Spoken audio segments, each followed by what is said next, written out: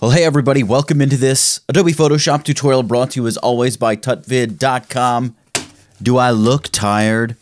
Because it is a little past 2 o'clock in the morning, and I've been up since about 6 in the morning.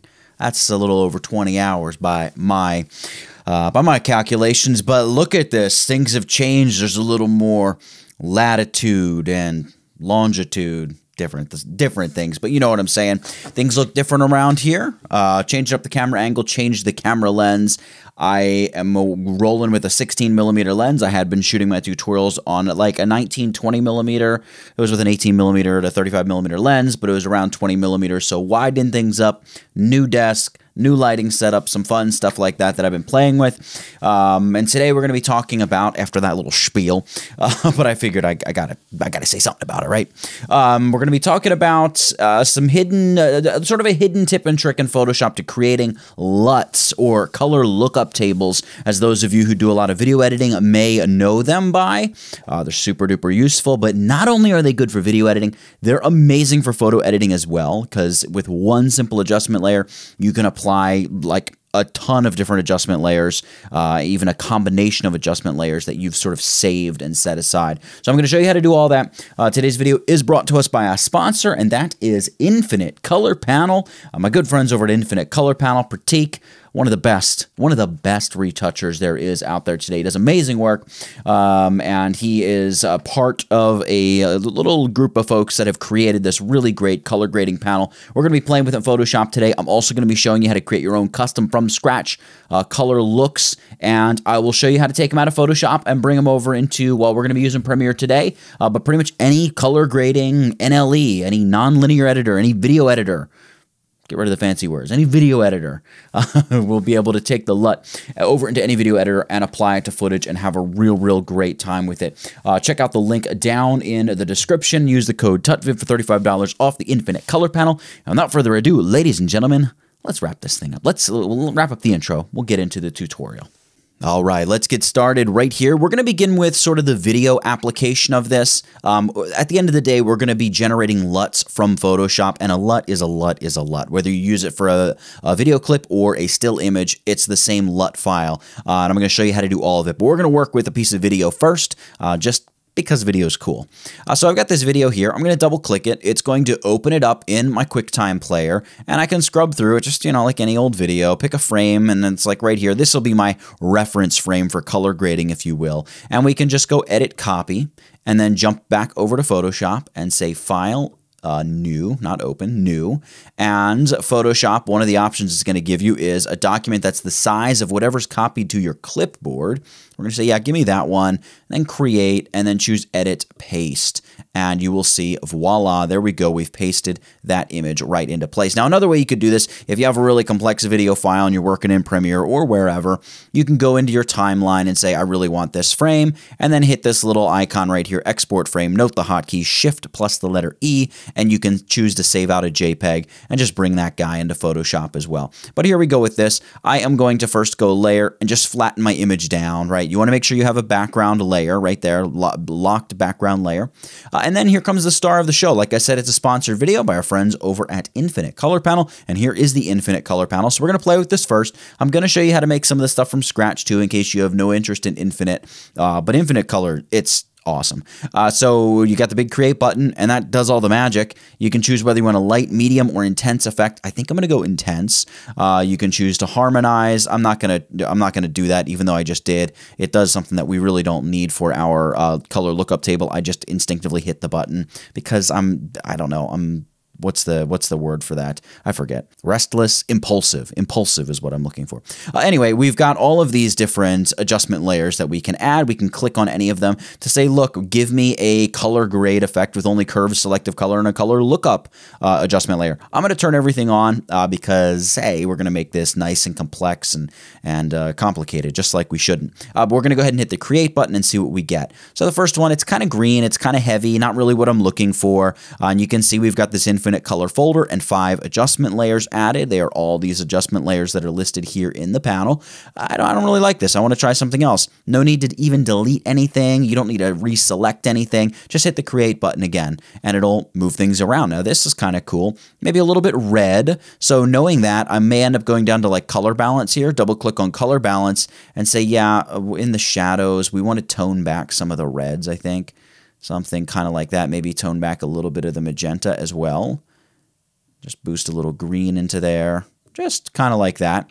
And if we shut off infinite colors before and there is after. So I, am going to close the infinite color panel now. There's a lot you can do with it. Uh, you, you, could say like, hey, we, we hate the gradient map. Uh, randomize just the gradient map. Do we get something different? We do get something different. Let's try randomizing again and again. And maybe I want to go back. So I can just go edit undo or toggle last state. And I can just shift back to exactly the look that I had originally liked. So anyway, now that we have that, we can we, now that we have a look that we like, I should say, I'm going to close the infinite color panel and I'm going to shut off my background image and we're going to go File. Well, I'm going to make sure I select all my adjustment layers here. I don't know if it's even necessary to select the all the adjustment layers. I just kind of do it by habit and I'm going to go File, Export, and here's the star of the show. Have you ever noticed this right here? Color lookup tables. Look at that. Let's go ahead and hit that, and you get this little nifty export dialog box where you can give your LUT a little description, and we'll just call this test underscore 01 or something boring. And uh, the grid points, 64 should be plenty for you. And I, I generally, I don't know, you can go with 3DL and cube. That's obviously the, def the default here that's checked. If you have a specific use uh, or a specific need or your your video editor only takes one type of file format, go ahead and do that. Um, I'm probably actually just going to export the 3DL because 3DL or Cube, I use both in, in Premiere, uh, but in this case, we only need one, so I'm going to go 3DL, and I've already spent way too much time talking about the formats. I'm going to hit OK, and I'm going to choose to save this here into a desktop folder, and I'm going to call this LUT underscore 01, and you can see it's just dot LUT. We're going to go ahead and save that sucker.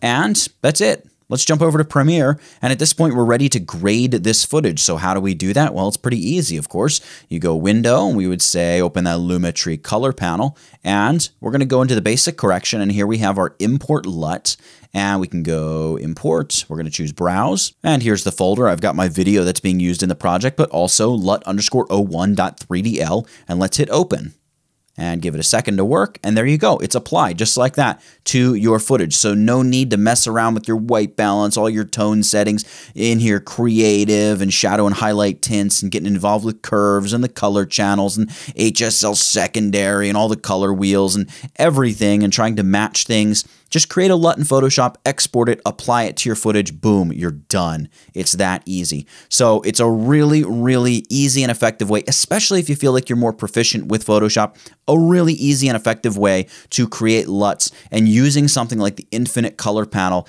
is just an incredibly fast and easy way to get yourself started uh, creating LUTs that are going to work really nicely for your footage. Gives you a great starting point, and you can go in and adjust and tweak your adjustment layers all you like to get the, the look that suits your footage, your film, the mood of the shot just perfectly. I'm going to close infinite color. All right, uh, I can actually close this whole PSD. Let's move along to uh, how this can be used for your still photography as well. Of course, you could just go extensions, infinite color, and I could start messing around with different looks right here from infinite color until I get something I really like. Uh, but I want to show you how to create custom LUTs. Let's say you don't want infinite color and you want to create LUTs. It's a little bit more labor intensive. You got to have a little bit more vision per se, uh, but it's definitely something that's doable just might not come out as professional right out right right off the bat uh, as it would with something like Infinite Color. So with uh, with a shot like this, uh, these are these wonderful long-haired Scottish cows, bulls, whatever you call them. I'm going to add a black and white adjustment layer here, and I think I may boost the yellows because yeah, I believe the cow is going to be in the yellow department, and I'm going to darken up the blues and the cyans because back there, I don't know if you noticed before we applied the uh, the, the black and white layer, we just have a lot of blue and cyan color back there and a lot of like yellow orange in the cow. So I kind of know those are the colors that are going to be boosted and adjusted. And then I'm going to set this adjustment layer to the overlay blend mode. Now I know what you're thinking. Overlay, that's crazy. It's so strong, and it is. But we have this nifty slider here called opacity, and we're going to just crank this guy back. Just find the sweet spot, yeah, somewhere there between 20 and 40. There we go. That looks pretty nice. And looking at it, I'm still thinking like the blue back there is too strong. So I think I'm going to add a hue saturation adjustment layer. And what I may do here is grab the little scrubby tool and just say, yeah, that target the blues and just desaturate them a bit. Just desaturate them until it looks good, something like that. All right, that's great. I'm going to collapse my properties panel again to get it out of the way. And then I can go through a series of, maybe we add a levels adjustment here and we boost the output a little bit just to reduce contrast and open up the blacks in the overall image a little bit more. Maybe boost the whites a little bit. Um, I, I'm intentionally trying to overcook the image a little uh, because, again, we're just going to roll back the opacity of some of these adjustment layers. There we have it, something like that. And last but not least, I don't know, we can we can have some fun with maybe a gradient map here. Uh, not black to white. Let's go with something strong. Maybe we'll go with this kind of very dark blue, very, very dark blue. You can see it's bluish, purplish, whatever. And an orange in the highlights. Hit OK. Again, super overcooked. And we're going to set it to a soft light blend mode, which is going to just really toast it in there. And then just reduce the opacity until you get something nice. So I can hold down my Alt or Option key. There was my image before we applied our color grading. Here it is now. And looking at it, I'm kind of inspired to add a little bit more cyan around the edges. So I can do that easily with levels. I could add a color balance adjustment layer, of course, and add cyan, but let's do it here. Cyan's the opposite of red. So in the levels adjustment, go to the red channel, and let's just open up cyan in the image a little bit. So bump that over, and then bump the white output slider over as well. Something kind of like that I think will be nice we can see just, yeah, it just adds a nice kick of cyan, helps complement the entire image a bit. All right, so now that we have that, of course, we shut off the cow, and I'm going to select my adjustment layers just like that. I'm actually going to delete this group. I don't know why I left it in here. Let's delete the whole thing. Let's just select these adjustment layers, and we'll do the same game where we just go File, Export, Color Lookup Tables. Voila, I guess Scotland Cow, that's perfect. And I'm going to hit OK, and I'm going to save my Scotland Cow LUT right next to uh, the LUT 01 that I just created. I'll go ahead and save that. And now the wonderful thing about this is let's delete all these adjustment layers. Of course, we could go over to Premiere and say, you know what? Let's see what this LUT looks like applied to our footage instead.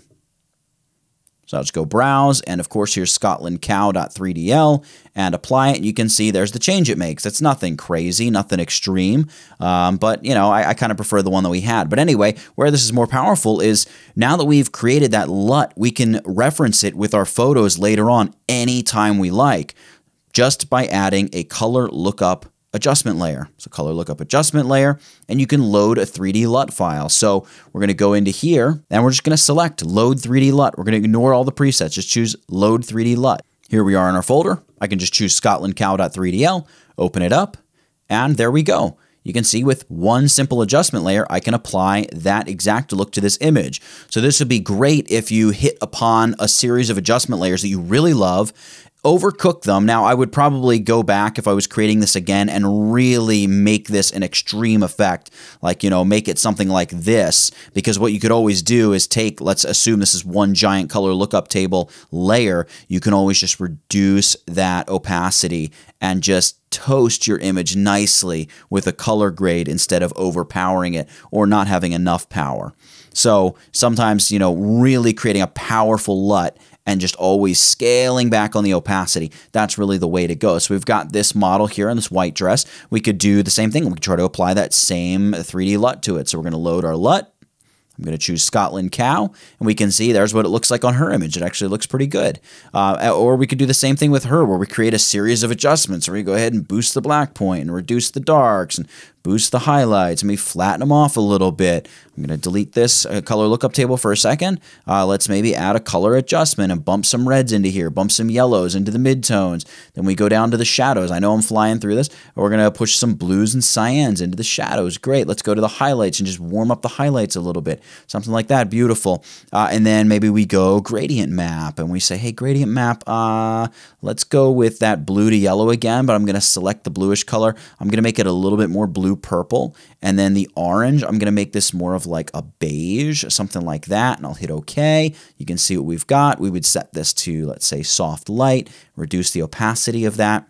And we can see there's before, there's after. Maybe there's a little bit too much contrast, right? So what I would do to just kill some of that off is just add a levels adjustment and just change the output sliders here. We're going for more of a stylized look. I know, you know, this is not going to be the application you want for everything. This is more of that trendy faded, you know, Instagrammy fade look. Maybe drag it beneath one of the adjustment layers just to help temper it a little bit. And of course, reduce opacity as well. And then we can just shut off the background layer. This is how fast it can be. Select those adjustment layers, bam, file, export, color lookup tables. You get it at this point, right? Beautiful stylish girl.jpg. Let's just call it beautiful stylish girl and hit OK. And here we are in our folder, and I'm going to hit save. And we've got our 3D LUT. And of course, we could go back and say, you know what? What does this one look like if we apply it to the cow? So let's go load, and let's say beautiful stylish girl. And there we go. We've got beautiful stylish girl now applied to our long-haired, shaggy Scottish cow. Maybe I'll double or triple that effect up and you can really see we really cook the effect into there. It's a bit extreme, but I think you get the point. So creating LUTs, really simple to do in Photoshop, really fun, and it's super easy to export them from Photoshop, drop them into Premiere, um, and it's great when you just export a reference frame, grade it up in Photoshop. Again, I can't emphasize it enough it's especially useful if you're just more comfortable with the adjustment layers and the color editing and grading tools that you have at your power in Photoshop.